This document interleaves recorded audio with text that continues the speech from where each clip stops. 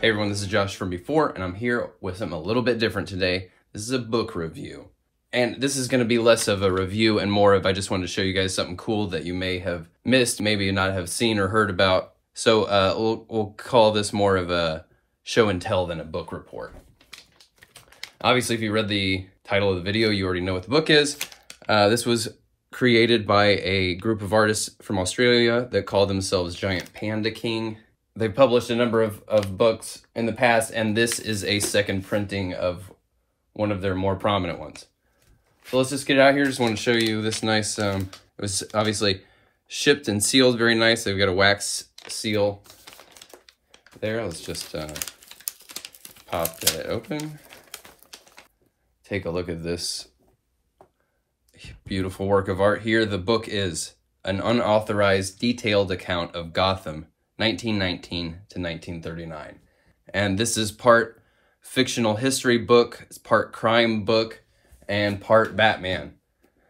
So they put this book out a few years ago, and now this is a second printing with, uh, it's been expanded, they've added new material. There's also a series of videos um, inspired by this book. I don't know if, if what all that has to do exactly with, with Giant Panda King, and uh, I, I've, I've held back from like watching those videos or reading too much about this because I kind of just didn't want to spoil the the experience of looking over it for myself. And I don't want to show you all, you know, every single page of this, but just to kind of show you, this is very much um, put together like a fictional history book.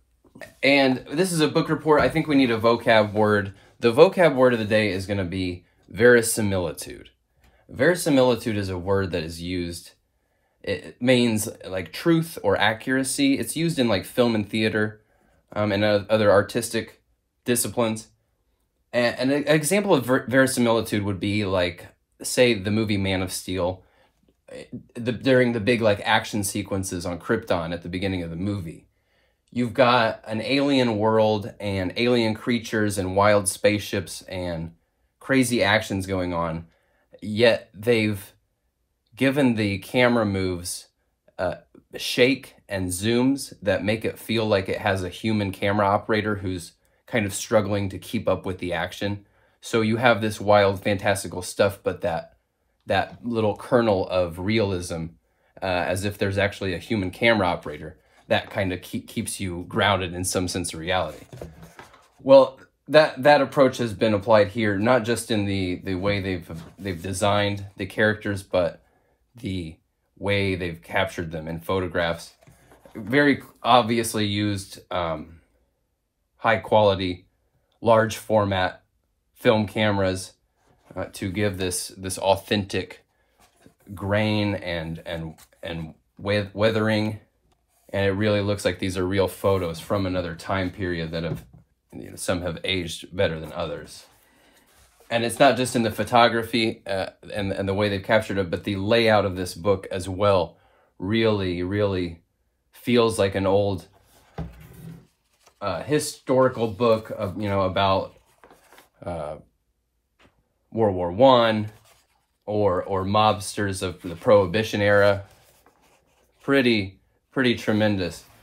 So again, I don't, I don't want to reveal too many of the fun things to discover while flipping through this book. I just want to show you kind of some of the big, big interesting approaches they ha they have to to creating this world and fleshing it out and building out something that feels like both Batman and like a document of a bygone era. And here's like a, the page of Phantasm. This is one of the newer pages that they've added for this second edition. They've added a lot more characters.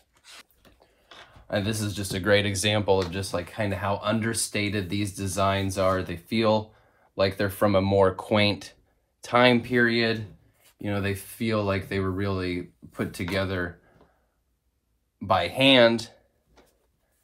You know, I love the I love the the look of this like hammered metal for Deadshot's mask here. It's a great image of of Jason Todd Robin here again, not over designed not too sensational. Just feels like it was put together in that era between the 20s and 30s. And then just to come back to that idea of verisimilitude again, veracity.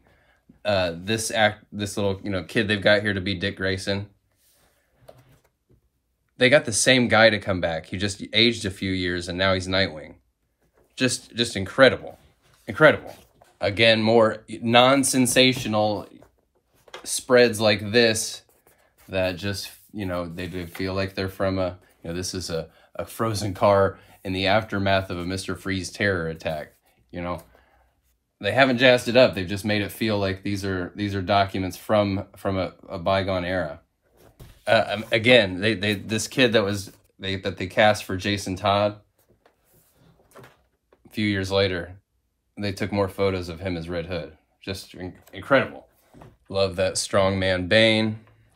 His case of uh, venom formula ingredients over here. And the book even has an epilogue that goes uh, further into the future. Uh, here's a like photo of the Suicide Squad here, Harley, Deathstroke, Captain Boomerang, Deadshot. You know, and it even goes as far as um, Dark Knight Returns here with Carrie Kelly. And I mean, like, just look, look at these like um, mugshots of the mutant gang. You know, any any one of those photos would have taken however much production design, costume design, makeup, just a tremendous amount of detail. I really, I, I, I'm jealous of of how much fun these guys had putting this thing together. And uh, the credits in the back, you can see just uh, just how large this production was to put this thing together. Really incredible.